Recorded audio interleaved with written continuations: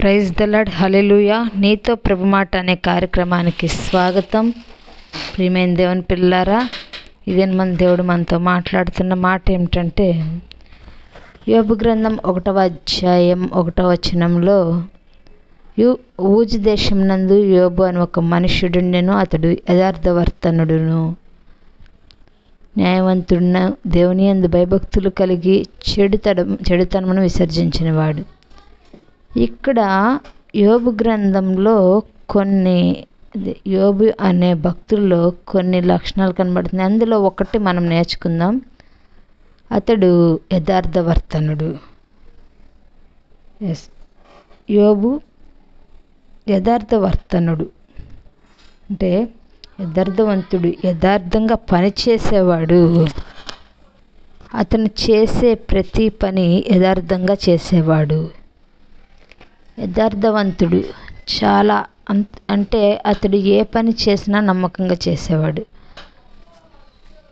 ఈరోజు దేవుడు నీ విషయంలో అటువంటి యథార్థతను కోరుకుంటున్నాడు. ఎందుకంటే ఆయన నీ కొరకు శిలువలో ప్రాణం పెట్టాడు నిన్ను ఆయన ప్రేమించాడు ఆయన నిన్ను తన స్వంత కుమారునిగా స్వీకరించాడు. కాబట్టి ఆయన ఆయనలో ఉన్న యథార్థత తన భక్తుడైన యోబులో చూశాడు. కాబట్టి ఎంతో గొప్పగా సాతాను ముందు ప్రభు సాక్ష్యం ఇచ్చాడు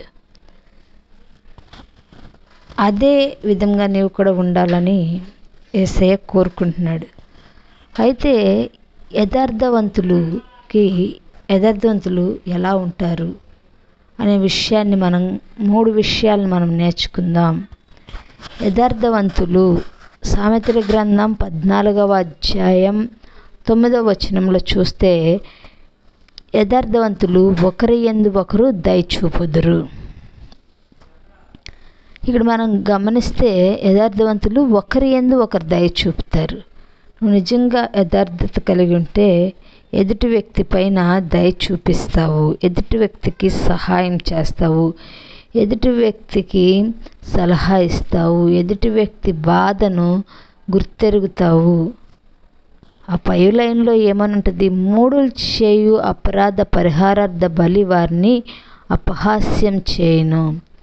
ఒకవేళ మూడులుగా ఉంటే గనక నువ్వు ఎలాంటి బలి ఇచ్చినా ఆ బలి నిన్ను అపహాస్యం చేస్తుంది. దేవుని కొరకు ఎంత ప్రార్థన చేసినా దేవునికి ఎన్ని స్థుతులు స్తోత్రాలు బలియాగంగా చెల్లించినా అది నీ యొక్క అపహాసానికే. అయితే ఇక్కడ దేవుడు ఏం చెప్తుందంటే నువ్వు యథార్థతగా బ్రతుకు యథార్థవంతులు. ఒకరి ఎందు ఒకరు దయ చూపుతారు. అవును యథార్థవంతులు ఒకరి ఎందు ఒకరు దయ చూపుతారు. ఇక్కడ మనం గమనిస్తే యోబులో యథార్థత కలిగి ఉన్నాడు కాబట్టి యోబు దయ చూపించాడు. ఆయన అందరికి సహాయం చేసేవాడు. అతనుకున్న అతని ఆస్తిని బట్టి అతను గర్వపడలేదు కానీ ఇతరులకు సహాయం చేస్తూ తను చేసే ప్రతి పనిలో యథార్థతను కాపాడుకుంటూ జీవిస్తూ ఉన్నాడు. అట్లాగే అతని చివరికి అతని యొక్క బలహీనత బలహీనతను బట్టి అతను క్షీణించిపోయాడు.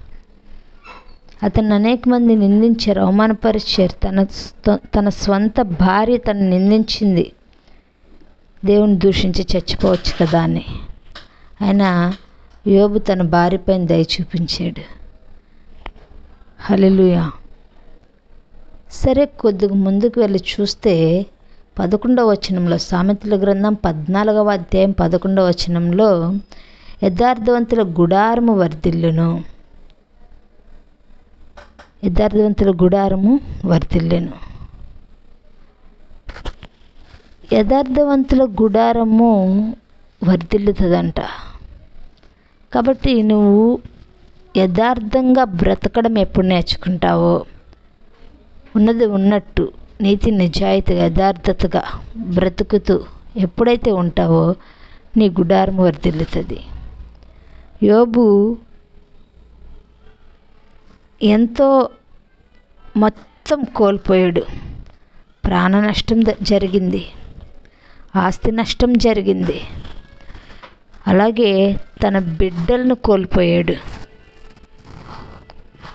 తనకి అనారోగ్య పరిస్థితి.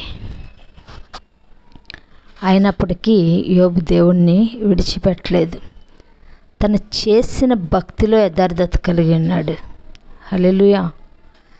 ఎప్పుడైతే తను అటువంటి యథార్థత కలిగి ఉన్నాడో అతను పోగొట్టుకున్న దానికి రెండంతల ఆశీర్వాదం అనుభవించాడు. హల్లెలూయా. కోల్పోయిన ఆస్తి అంతా మరలా రెండంతలుగా వచ్చింది. కోల్పోయిన అనారోగ్యం ఆరోగ్యాన్ని కోల్పోయాడు అనారోగ్యంతో ఉన్నాడు. అయితే మరలా ఆ ఆరోగ్యాన్ని మరలా పొందుకున్నాడు. అతని దేహమంతా పసిపిల్లల దేహం వలె దేవుడు మార్చి చక్కటి ఆరోగ్యాన్ని ఇచ్చాడు. అంతేకాదు కోల్పోయిన బిడ్డల్ని మరలా పొందుకున్నాడు. హలెలుయా మరొక పది మంది పిల్లలు ఆయనకి పుట్టారు. రెండంతలు ఆశీర్వాదం. అతని యథార్థతగా బ్రతకడం వలన అతని గుడారం వర్తిల్లింది ఎస్. యథార్థవంతులు ఒకరి ఎందు ఒకరు దయ చూపుతారు. యథార్థవంతుల గుడారం వర్ధిల్లుతుంది. అంతేకాదు మూడవదిగా చూసినట్లయితే సామెతల గ్రంథం పదిహేనవ అధ్యాయం ఎనిమిదవ వచనంలో యథార్థవంతుల ప్రార్థన ఆయనకి ఆనందకరం. నిజంగా నువ్వు యథార్థంగా ప్రార్థన చేస్తే నువ్వు చేసే ప్రార్థన ఆయనకు ఆనందకరం. యోబు యథార్థంగా ప్రార్థన చేశాడు. ఎక్కడ దూషించలే ఎక్కడ నిందించలే ఎక్కడ అవమానపరచలా. తను శరీరం అంతా కోల్పోయాడు. శరీరం చిల్ కురుపులతోని ఎలర్జీ వచ్చేసినప్పుడు కురుపులతో నిండిపోయినప్పుడు రక్తం చీమి కారుతున్నప్పుడు వాటిలో పురుగులు చేర్చబడినప్పుడు తన యొక్క వాటికైనా ఆహారం ఎవరు పెడతారని కింద పడిపోతున్న పురుగులను తీసుకొని ఆ యొక్క గాయాల్లో వేసుకున్నాడు. అంతేకాదు అతడు దురద దురద పుట్టినప్పుడు చిల్ల పెంకుతో గోక్కున్నాడు. తన భార్య అసహించుకుంది. చూసిన వారు అసహించుకున్నారు. ఇరుగు పొరుగు వారు అందరూ అసహించుకున్నారు. తన స్నేహితులు దూరాన్ని నిలిచిపోయారు. కానీ ఆయన ఎవరిని నిందించలా అవమానపరచలా దూషించలా? వారు అలా చేశారు వీరు ఇలా చేశారు అలా ఈ రోజుల్లో జరుగుతుంది అదే. మాకు బలహీనత వస్తే ఎవరు చూడడానికి రాలేదు. మమ్మల్ని మాకు ఆస్తి పో పోతే ఎవరు పలకరించడానికి రాలేదు. అయ్యో పలానా వ్యక్తి రాలా పలకరించలేదు పలానా వాళ్ళు రాలా? ఇలా ఎదుటివారిపైన నిందలు మోపడానికి ఇష్టపడుతున్నారు కానీ యథార్థంగా ప్రార్థన చేసేవారు ఉన్నారా? యోబు యథార్థంగా ప్రార్థన చేశాడు. యథార్థవంతుల ప్రార్థన ఆయనకు ఆనందకరంగా మార్చబడింది. నీ ప్రార్థనలో ఆనందం నేను చూడాలనుకుంటే ఖచ్చితంగా